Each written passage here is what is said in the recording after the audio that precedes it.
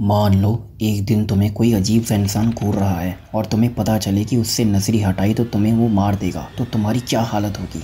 Comments में अपना जवाब बताएँ।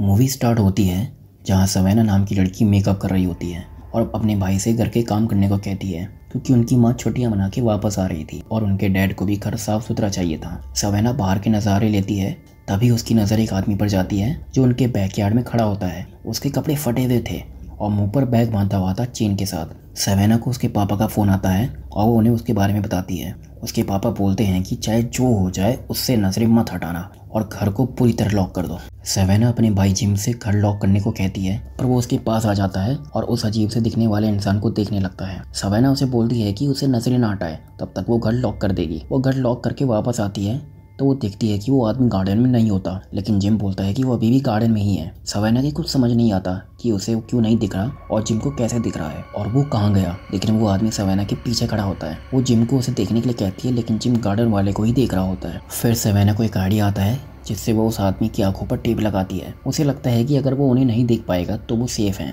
और पीछे मुड़कर अपने डैड को कॉल लगाती ही है कि तभी वो आदमी उस पर हमला कर देता है। जिम सवैना को बचा लेता है, वो दोनों उस आदमी को देखने लगते हैं और वो आदमी भी उन दोनों को देखता है। और उसी समय उसके डैड भी वहाँ आ जाते हैं। और उस आदमी को मिरर में उसकी शक्ल दिखाते हैं। वो अपनी भक्ति शक्ल देख नहीं पाता और मिरर के अंदर चले जाता है और उसके डैड मिरर तोड़ देते हैं। पूछने पर वो बताते हैं, जब पहली बार वो उनकी माँ से मिले थे, तब से ये आदमी उन्हें दिख रहा है। तभी जिम को याद आता है गार्डन वाला आदमी।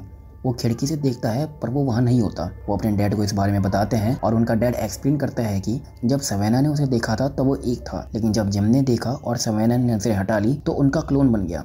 मतलब कॉपी जो एक सवेना के पीछे आया। और दूसरा जिम के पीछे आएगा। फिर घंटी बजती है, फिर हम देखते हैं कि वो भत्ती शक्ल वाला इंसान दूर खड़ा होने देख रहा होता है। अगर आपके साथ कभी ऐसा हो जाए तो आप उसके सामने नाचोगे, उसके साथ रेसलिंग करोगे, या कुछ और। अपने क्रिएटिव जवाब कमेंट्स में बता